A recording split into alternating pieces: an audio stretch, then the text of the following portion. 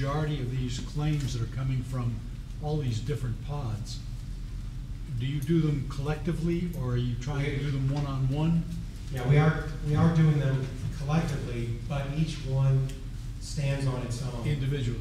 Stands on its own, yes. For instance, those people uh, along the eighth fairway there in pod thirty-six, it's, it is not acceptable to them, and wouldn't be to me either.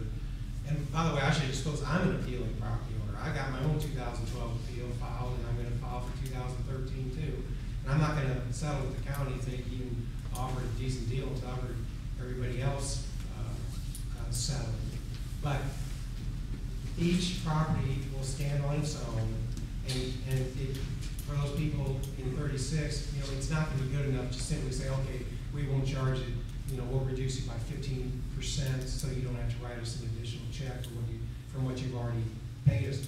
They, they need to get their property values more down from that hundred five thousand dollar level down to where, you know, at least golf course lots are now, uh, and some of the other um, primo lots are, like in pod one A, more down in the range of fifty thousand dollars.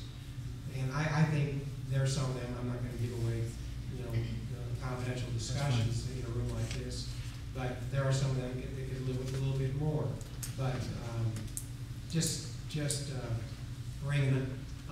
thousand dollars, bringing a few dollars out of, out of that and putting them down in the ninety thousand dollar range or eighty thousand dollar range is not, is not gonna be acceptable. So they're in a different, they're in a different status, but there are, there are plenty of others who are appealing. And, you know, pod three, pod twenty-eight, uh, pod one B, uh, even though they may not have really high numbers attributed to, to their lot, I still think we can do some good for them. And, uh, so, uh, anything that we can shave off of that number will be less that they have to pay, not just for the appeal year, but for the, for the next two But- years. but you That's are- what they wanna live with. Excuse me, you're, you're basically able to, to go after groups or pods, or, you're not doing this on an individual basis, going to these meetings? No, what's gonna happen is. at It's least- group by group?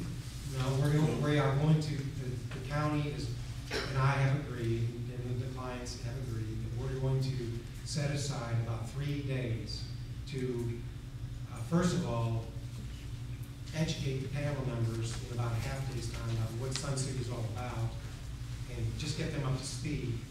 And then, uh, one by one, each property owner's uh, valuation will be addressed to, to the, the panel. It'll make, you know, it'll take about ten minutes, uh, ten to fifteen minutes. I'm gonna, I'm gonna have some fairly, um, I think expensive blow, blow-ups, uh, done on, on poster board to demonstrate, you know, like the, the resales and give them the background on the resales and why that's a, a better comparison than using this computer system mass appraisal and that sort of thing. But it's going to, and I, the other thing we're not gonna, we're not gonna do is we're not gonna play off of each other, we're not gonna cannibalize each other. We're gonna, we're gonna use, uh, other homes that are not appealing as a basis for comparison. And Believe me, there are plenty, there's plenty of ammunition for each one of the property owners to make a compelling case that their property vis-à-vis others that are not being appealed, uh, are, are overvalued. So, Uh, I I could run through these, uh, these tips real quick, be sure, you know, check your neighbor's assessments, you all go online, to the county, the California tax assessment websites, and just look at the, at the property report cards and compare, uh, see what your, uh, you can pull up their two thousand thirteen assessment, it's right there, uh, that can be opened, you know, in a PDF, and, uh, re- review and see what the, uh, the, uh, the valuation was. Use units of comparison, like on size per square foot. Um, This is something actually we spend a whole hour on, the coefficient of dispersion versus dispersion. Need to understand this kind of These thing. words from. And without getting into sales ratios and the coefficient of dispersion uh, too deeply, I'm just gonna tell you, that, that's an important concept that you need to understand. uh, Because the, the COD cannot be uh, ten percent uh, less than, um, or it should be at, at ten percent less than the coefficient of dispersion. If it's higher, than the median sale ratio is under lot. Can you Um, imagine the guy? When you negotiate with the board of tax assessors, uh, don't play all your cards, don't put them all on the table, hold, hold back, uh, uh, some of your information. Um, Give them three sales that support the value that you think your house should be at. But don't give them all because they'll use that information from you to prepare to, um, to defeat you. Uh, When you bring that up in front of the Board of Equalization, so hold back, um, some, some of your evidence, um, in case you can't get an acceptable result by negotiation with the Board of Tax Assessors. And finally, be willing to compromise, you know, two plus two never equals four down at the courthouse, that's what I always told my clients, you know. A, case may be worth, you know, hundred thousand dollars to, to, to one set of, uh, jurors or judges, and may be worth a hundred and fifty thousand to a second set of judges or jurors. Um, Or it may be worth zero. So understand that there's risks inherent uh, in, in this appeal process, just like in any contested legal matter. And uh, if you send signals to the Board of Equalization that you're, you think your house really ought to be valued at, you know, hundred and eighty thousand, uh, whereas the Board of Tax Assessors has it maybe two twenty-five, but you can live with like one ninety or one ninety-five, uh, that is something that they will appreciate. I think they really want to do good for property owners, but you gotta, you gotta give them uh, a way to, to get there, so that they feel good that they came up with, with with a, with a fair result. Um, Should you proceed with other Sun City residents or by yourself, I've already made reference to it, we got this other group together because we thought there was strength in numbers. We could make a coherent, persuasive presentation, we can demonstrate preparation of most of the Sun City Peachtree residents to fight. Uh, It puts the county at risk of its scheme to shift higher property values to Sun City, and it allows, you know, you've got to give your legal opponent a, a reason to, uh, to work with you. And it, but it, it allows the county to dispose of numerous appeals by making adjustments that are acceptable to all. So, um, that's, that's why we sort of assembled this group.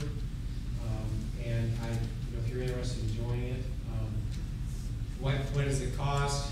Uh, if you, if you were to hire, you know, somebody who does, quite a bit of this, there are plenty of firms out there, they do not have to be represented by an attorney, but these other firms, like this one in Atlanta, Fair Assessments, you, they, they charge a two hundred fifty dollar upfront fee, non-refundable, and then they take twenty-five percent of any tax savings on the back. Oh, Uh, this one does basically the same thing, I can't read it, but I think this one, they charge like hundred ninety-five dollars upfront, and they take thirty percent. Um, This one does about the same thing. Then there's me. Don't laugh, I charge forty-seven dollars. And, and, uh, and that's just because I think that's what's appropriate. I, I, I come out, out of pocket with expenses to try and make an effective presentation for my clients in front of the Board of Equalization. And if I do good for you, then it's, you know, I'll ask you to, uh, know, pay twenty percent of the tax savings at the back end. And if I don't do good for you, if I don't save you dime, then I don't make another dime. Forty-seven dollars is really all, all you, you have to risk. Um, I said, if your situation doesn't improve, I the time. There's no further expenses unless as a group you decide to hire an outside professional like an appraiser. I don't think that's necessary.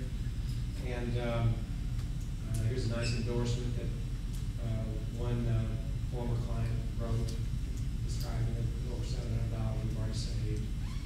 And if you want to, uh, uh, work with me, I'll, I'll, I'll send you, just let me know, I'll send you an email telling you the relatively small amount of documentation that I need from you. Um, The assessment and bills for each year, your hearing will just two thousand thirteen, actually, I already got your assessment. Uh, but any, your assessments and bills for the year prior. Um, Pulte's contract, if you have your, your house constructed, there's a thing called the job initiation order, which breaks down how your home, uh, price was arrived at. I think, yeah, here's mine. And it's, it's this thing up here. I, I, I they also put that on the, um, on the change order. Uh, So whether you had that job to pay a forty-five thousand dollar premium, I didn't think my lot was worth it, that's forty-five thousand, I thought maybe it's worth about twenty-five or thirty. But, uh, my wife wanted all these upgraded options. And they, they, they, uh, took the ad machine out and added up all the options, and they whacked off a bunch of it to get to the number that we can both live with. But they wanted to maintain some precedent on the lot premium, so they, they plugged in forty-five thousand dollars.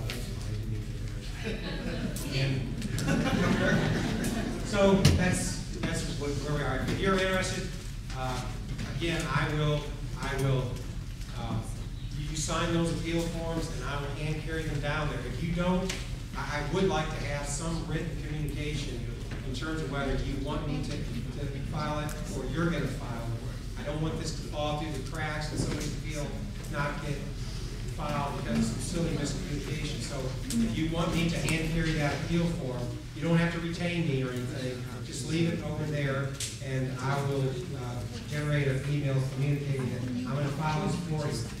Now, if you want me to do, carry on further from there, I can say, I got retainer forms here, checks, credit cards are accepted, that sort of thing. And, uh, either now or over the course of the next few days, we can, you know, we can do business.